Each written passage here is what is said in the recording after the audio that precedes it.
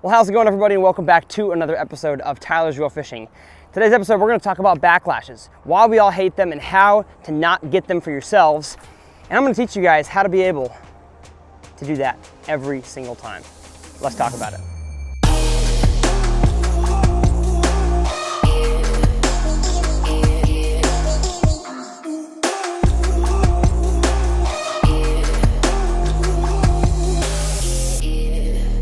Bait casting reel is something that scares a lot of people because they hear the horror stories of people getting bird's nest backlashes, rat's nest, whatever you want to call it, where you cast your reel and the line basically spools itself off the reel and has this huge big mess of knots that you have to try to take out. Now, if you guys are curious about how to get backlashes out effectively, I will have that video coming out in a few days. And if you're watching this video later on, it has already been out. So click up here in this corner if you guys wanna see that video as a part of this two-part series. Setting up your reel.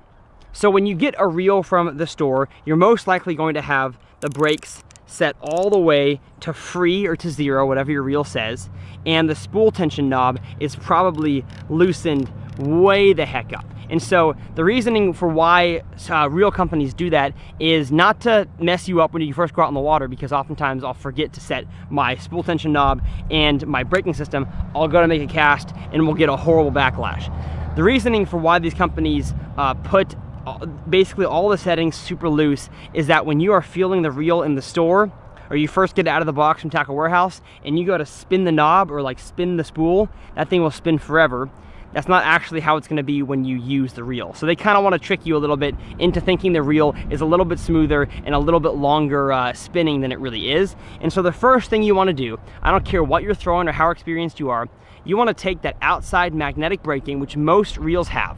Most reels have a magnetic braking on the outside and a spool tension knob. Of course, the centrifugal braking uh, comes with you know the higher higher price reels. And so the first thing you want to do is take your brakes and you want to twist the brakes all the way to, in my experience, seven, eight, nine, somewhere in that general area. Because you don't know exactly, especially if it's a brand new reel, how the reel is going to respond to being casted. So I like to turn my brakes not to max, not all the way on, but a good majority of the way on because the worst thing is you get out there on the water with some brand new fluorocarbon, you're excited to make a cast, and your first cast gets a backlash that you literally can't get out because it's so bad. So the first thing you wanna do is take the brakes and move them all the way to seven, eight, or nine, or if, your if your reel says low, medium, high, move them somewhere in between medium and high.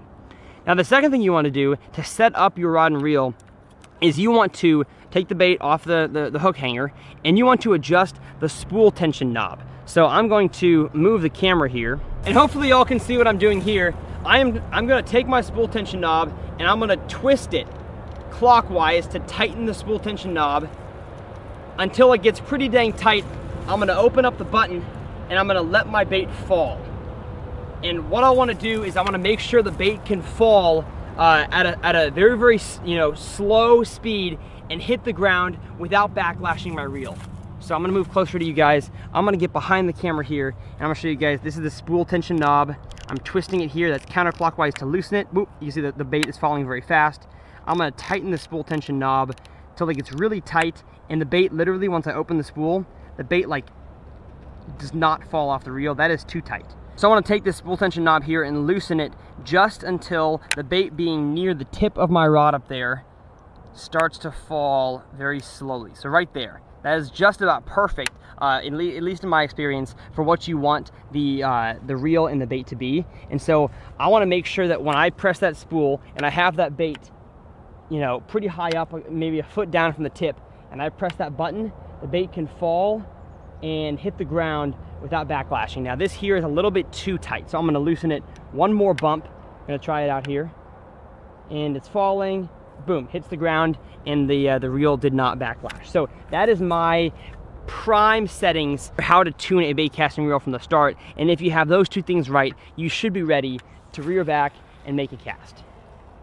Look at that, would you look at that? Now, of course, a situation is going to come up a lot of the days when you're out in the water, and that is wind. Wind is what causes the majority of backlashes in your reels, and it is because you have a, a pressure coming against what you just cast it against. So when you are casting in a wide open, no wind pond like this, you can just let your reel spool out and not even use your thumb to stop it when it hits the water because you have your, your brakes set so perfectly. But when you have wind coming against you, you will have exerted force against the wind and the wind is exerting force back, which is going to cause some kind of, I don't know exactly how it works, but pressure back on your line and it will start to backlash your line. And so the one thing that you have to do is of course, increase your brakes. So whether that is uh, tightening your spool tension knob on the right side by turning it clockwise, maybe uh, adding in more brakes on the magnetic, or if your reel has it, opening up the internal braking system. So the way that I do that is I open up the side plate. It's kind of hard to do on uh, some reels. And if you open up the side plate, you guys can see the magnetic portion of the braking system on the outside here, and then the centrifugal on the inside. And centrifugal braking is cool because it works on a centrifugal pin system. So the way the centrifugal force works, if you guys are not uh, physics people, which I'm not really either, but centrifugal force, like let's say you put marbles inside of uh, a pan or a, or a plate and you start to spin the plate, the marbles, of course, are going to spin to the outside because just the way centrifugal force works, the heavier objects want to work their way to the outside. And so that's exactly the way that centrifugal pins work on the inside braking system of a lot of bait casting reels, is that you have pins that you can either push or clip in to the inside of the reel, which means the braking is less because the pins can't spin outside. But if you have all the pins turned outside, when the reel is engaged and you cast out there and the spool is creating that centrifugal force, those pins are going to exert pressure on the spool and it's going to slow the spool down.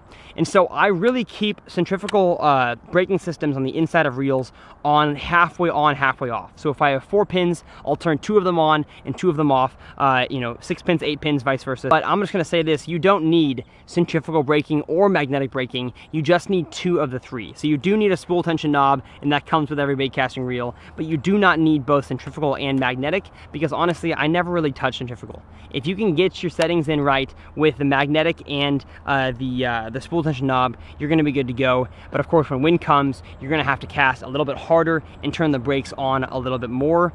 And I have one more little tip when it comes to setting up your reel, and it kinda actually jumps back to the line, is that you want to have your spool almost all the way filled up. As you can see here, my spool is almost all the way filled up, and that is for no other reason besides the fact that line spools off a reel a lot better and you get way more casting distance when you have a full spool.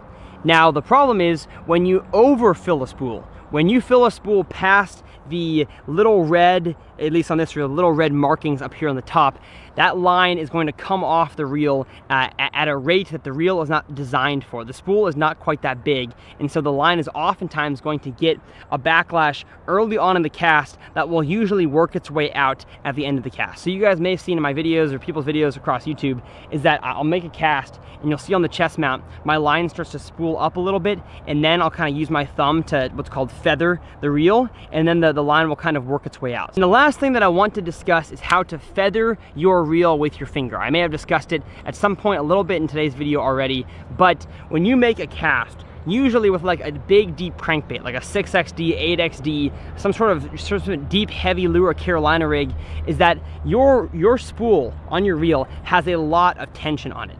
It is coming, maybe an Alabama rig is similar, it is coming off a super heavy loaded cast and you whip it out there and that spool is just shooting. So one thing that you have to learn to do in order to eliminate backlashes is to learn to feather your reel.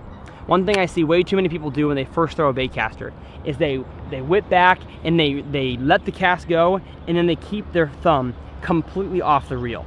And, and that's not gonna work. What I mean by feather is that when I make a cast, I'm gonna keep my thumb hovering very, very close to the spool, if not like my thumb literally touching the spool as it spools out which which will not you know inhibit your casting distance all that much unless your thumb is of course like pressing down on it then of course you know your casting is going to stop. But when you make a cast out there and i've just learned to do this it's muscle memory you have to learn to keep your thumb very close to either a eliminate a backlash. So if you feel your line is starting to shoot up and you don't want to have to mess with the backlash then of course you can stop the reel and, re and recast maybe adjust your brakes if, if they weren't adjusted already.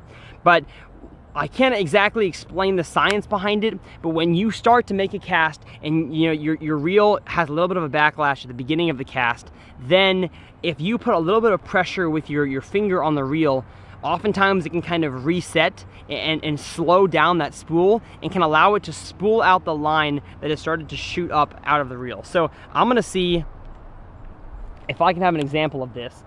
Right there, kind of feathering it, boom And right there at the end, the line completely became unbacklashed and it's one of those things that I can't explain how to do it. You just have to get out there, make sure you guys are keeping your thumb on your reel, not casting and letting it go. Now, of course, my settings are good for that, but that was a very, very short, very simple cast. If I'm gonna be whipping heavy lures out there, doesn't really apply to this finesse jig. I'm talking heavy, heavy stuff. You have to feather every single cast, which just takes time and uh, takes a little bit of acquired skill.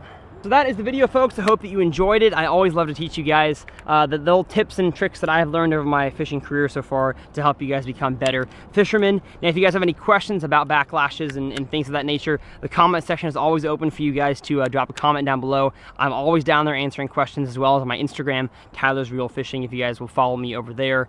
Also, if you guys are new to the channel, subscribe if you guys like this sort of content.